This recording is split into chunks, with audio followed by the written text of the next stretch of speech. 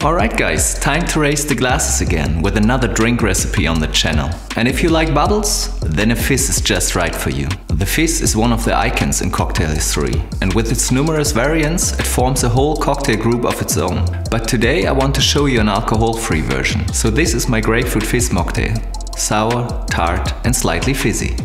Let's get mixing then. You need pink grapefruit, juniper, coriander seeds, allspice, an organic egg, and sparkling water. Start with peeling the grapefruit and cut it in halves afterwards. Then squeeze out the juice. Crush juniper, coriander seeds and allspice with your knife or bowl. Then heat up a pot and add the grapefruit juice. As well as the spices and the grapefruit peel. You can easily create an aromatic and non-alcoholic substitute for gin by flavoring water and fruit juice with spices, such as juniper, allspice or bay leaf. I've worked with grapefruit juice and peel for instance to match the theme, but you can easily create your own version.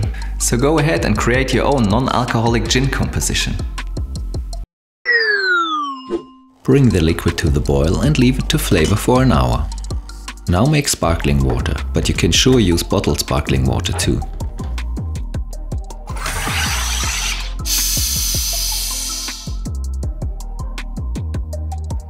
Strain the spiced grapefruit juice and add it into a shaker. Also add agave syrup and egg white.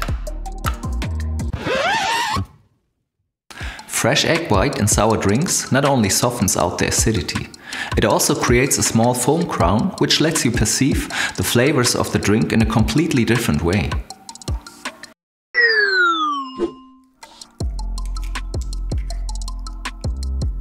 Add ice cubes.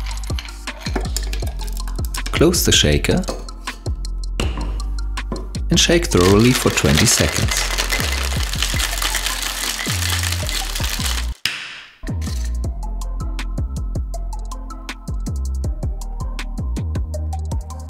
To serve, add sparkling water and strain the mocktail on top.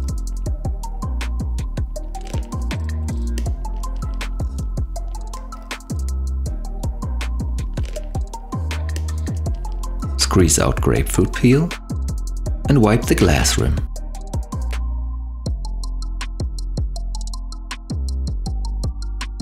Cheers! I linked the recipe of my grapefruit fizz mocktail down in the description. Also, let me know if you have any questions or recipe requests. And of course, I appreciate your like, subscription or support via Patreon. So, thanks a lot for watching and until next time.